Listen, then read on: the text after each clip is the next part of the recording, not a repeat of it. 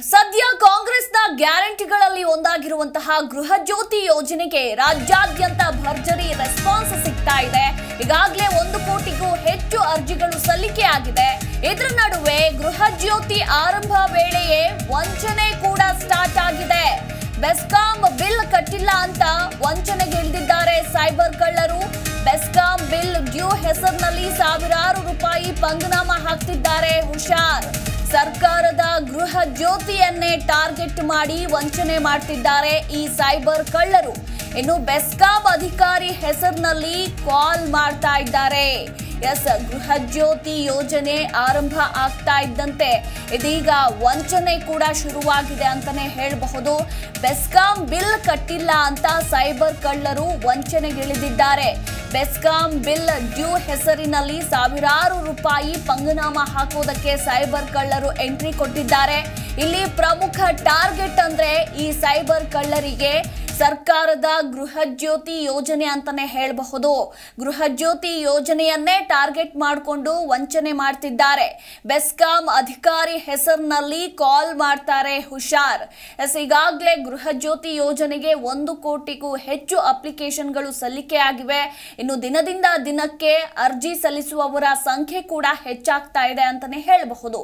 ಇನ್ನು ಇಲ್ಲಿ ಅರ್ಜಿಯನ್ನು ಸಲ್ಲಿಕೆ ಮಾಡೋದಕ್ಕೆ ಬೆಂಗಳೂರು ಒನ್ ಇರಬಹುದು, ಕರ್ನಾಟಕ ಒನ್ ಇನ್ನು ನಿಮ್ಮ ಅಕ್ಕಪಕ್ಕದ ಬೆಸ್ಕಾಂ, ಚೆಸ್ಕಾಂ, ಹೆಸ್ಕಾಂ ಕಚೇರಿಗಳಿಗೆ ತೆರಳಿ ಅರ್ಜಿಯನ್ನ ಸಲ್ಲಿಕೆ ಮಾಡಬಹುದು. ಇಲ್ಲಿ ಬೆಸ್ಕಾಂ ಸಿಬ್ಬಂದಿಯ ಹೆಸರಿನಲ್ಲಿ ಗೃಹ ಜ್ಯೋತಿಯನ್ನೇ ಟಾರ್ಗೆಟ್ ಮಾಡಿಕೊಂಡು ಸೈಬರ್ ಕಳ್ಳರು ವಂಚನೆ ಮಾಡೋದಕ್ಕೆ ಎಳ್ದಿದ್ದಾರೆ.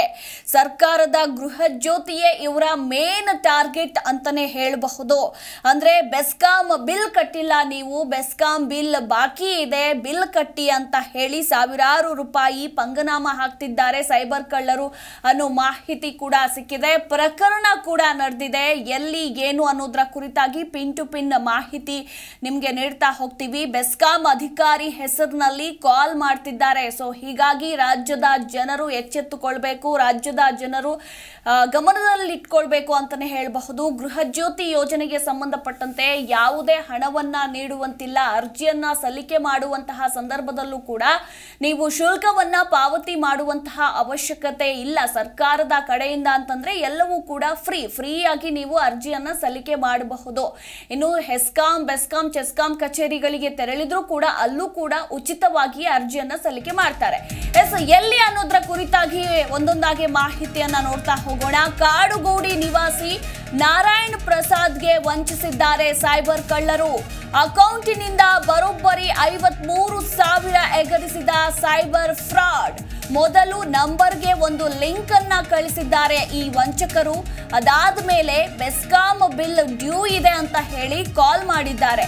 ಇನ್ನು ನೀವು ಇವತ್ತೇ ಬೆಸ್ಕಾಂ ಬಿಲ್ ಕಟ್ಟಿಲ್ಲ ಅಂದ್ರೆ ನಿಮ್ಮ ಕನೆಕ್ಷನ್ ಅನ್ನ ನಾವು ಕಟ್ ಮಾಡ್ತೀವಿ ಅಂತ ಹೇಳಿದ್ದಾರೆ.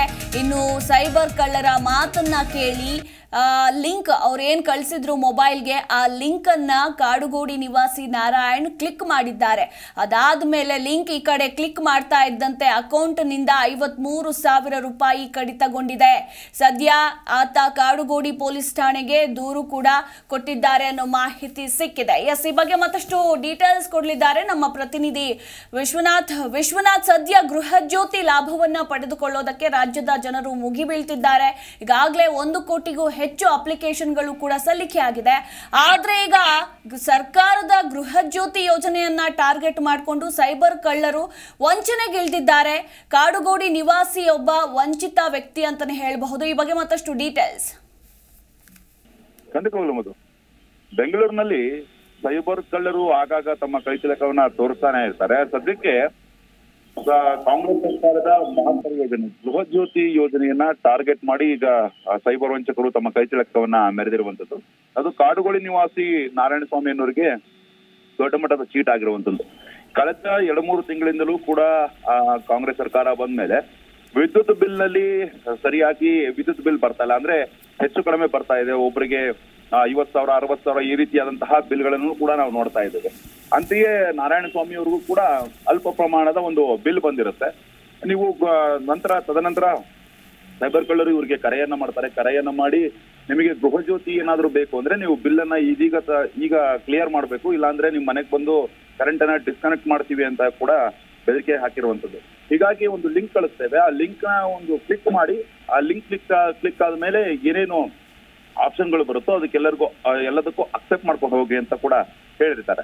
ತದನಂತರ ಈತ ಆ ಲಿಂಕ್ ಅನ್ನ ಕ್ಲಿಕ್ ಮಾಡಿದ್ಮೇಲೆ ಗೂಗಲ್ ಪೇ ವರೆಗೂ ಕೂಡ ಲಿಂಕ್ ಓಪನ್ ಆಗ್ತಾ ಹೋಗುತ್ತೆ. ಒಂದು ರೂಪಾಯಿನ ಕೂಡ ಈತ ಕಳಿಸಿರ್ತಾನೆ. ತದನಂತರ ಸ್ವಲ್ಪ ಹೊತ್ತಿನಲ್ಲಿ ದೊಡ್ಡ ಮಟ್ಟದ ಅಮೌಂಟ್ ಕೂಡ ಈತನ ಅಕೌಂಟ್ನಿಂದ ಈಗ ಐವತ್ಮೂರು ಸಾವಿರ ಕಟ್ ಆಗಿರುವಂತದ್ದು. ಅದಕ್ಕೆ ಬೆಸ್ಕಾಮ್ ಬಿಲ್ ಡೂ ಇದೆ ಅಂತ ಕಾಲ್ ಮಾಡಿರ್ತಾರೆ. ಇದಾದ್ಮೇಲೆ ಅಮೌಂಟ್ ಏನ್ ಕಟ್ ಆಗ್ತಾ ಇತ್ತು, ಈತನಿಗೂ ಕೂಡ ಗೊತ್ತಾಗಿರಲಿಲ್ಲ. ತದನಂತರ ಪರಿಶೀಲನೆ ನಡೆಸಿದಾಗ ವಂಚನೆ ಆಗಿರೋದು ಗೊತ್ತಾಗಿರುವಂತದ್ದು ಸದ್ಯಕ್ಕೆ ಸೈಬರ್ ಕಳ್ಳರ ಮಾತು ಕೇಳಿ ಈಗ ನಾರಾಯಣ ನಾರಾಯಣ ಅವರು ಐವತ್ಮೂರು ಸಾವಿರ ರೂಪಾಯಿ ಕಳ್ಕೊಂಡಿರುವಂತದ್ದು ಈ ಹಿನ್ನೆಲೆ ಅವರು ನೊಂದಿದ್ರಿಂದ ಕಾಡುಗುಡಿ ಪೊಲೀಸ್ ಠಾಣೆಗೆ ಹೋಗಿ ದೂರನ್ನು ಕೂಡ ಕೊಟ್ಟಿದ್ದಾರೆ. ಫೋರ್ ಟ್ವೆಂಟಿ ವಂಚನೆ ಕೇಸ್ ಅಡಿಯಲ್ಲಿ ಎಫ್ಐಆರ್ ಕೂಡ ದಾಖಲಾಗಿರುವಂತದ್ದು ಸೈಬರ್ ವಂಚಕರು ಯಾರು, ಎಲ್ಲಿಂದ ಈ ರೀತಿಯಾದಂತಹ ಕೃತ್ಯವನ್ನು ಮಾಡಿದ್ರು ಅನ್ನೋ ಒಂದು ನಿಟ್ಟಿನಲ್ಲಿ ಪೊಲೀಸರು ಕೂಡ ತನಿಖೆಯನ್ನ ನಡೆಸ್ತಾ ಇರುವಂತದ್ದು. ಇನ್ನು ಜನಸಾಮಾನ್ಯರು ಕೂಡ ಎಚ್ಚರವಾಗಿ ಇರಬೇಕು ಅಂತ ಪೊಲೀಸ್ನವರು ಕರೆಯನ್ನು ಕೊಟ್ಟಿರುವಂತದ್ದು. ಯಾಕಂತಂದ್ರೆ ಇಂತಹ ಮಹತ್ತರವಾದ ಯೋಜನೆಗಳು ಬರುವಂತಹ ಸಂದರ್ಭದಲ್ಲಿ ಈ ರೀತಿಯಾದಂತಹ ಕಳ್ಳಕಾಕರು, ಸೈಬರ್ ವಂಚಕರು ಕೂಡ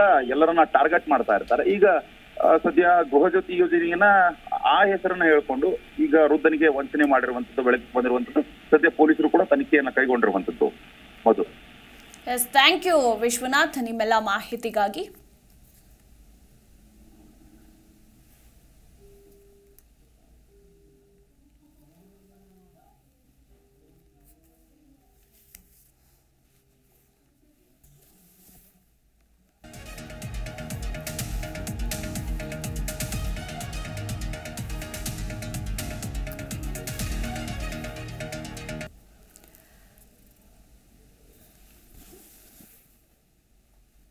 ಪ್ರತಿಕ್ಷಣದ ಸುದ್ದಿಗಾಗಿ Zee Kannada news app download ಮಾಡಿ.